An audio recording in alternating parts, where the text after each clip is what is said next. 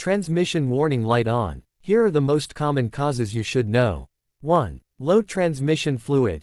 Transmission fluid can be too low in your system, probably due to a leak. Low transmission fluid levels make the transmission system low on lubrication, which is critical and may lead to internal transmission failure. Your vehicle has sensors measuring transmission fluid, and they shoot transmission warning lights to your dashboard if they detect low levels.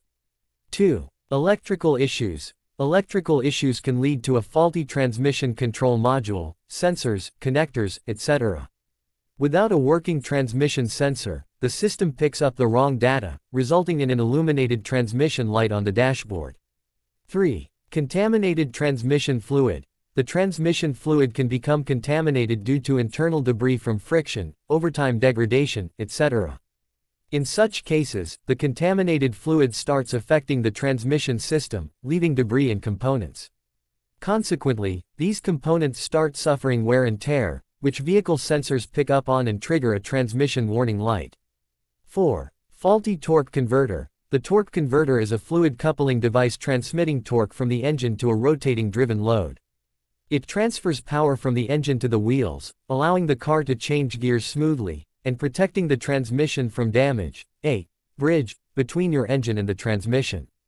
Therefore, if it fails, you'll be having transmission problems, which sensors will pick up on and trigger a warning light. 5. Faulty valve body. The valve body has transmission solenoids that move based on what signal it receives from the vehicle's computer. The valve body's role is to distribute transmission fluid, shift gears, control mechanisms, and provide hydraulic pressure in the transmission system. However, the valve body might fail and stop changing position. This indicates that the internal transmission requires repair, triggering a warning light.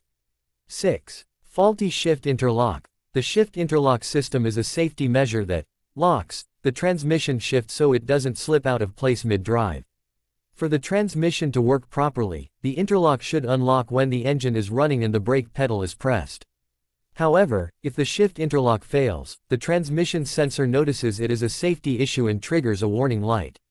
If you find this video useful, please share it with your friends, and if you have any questions, leave a comment we'll respond. Thanks for watching, and subscribe for more.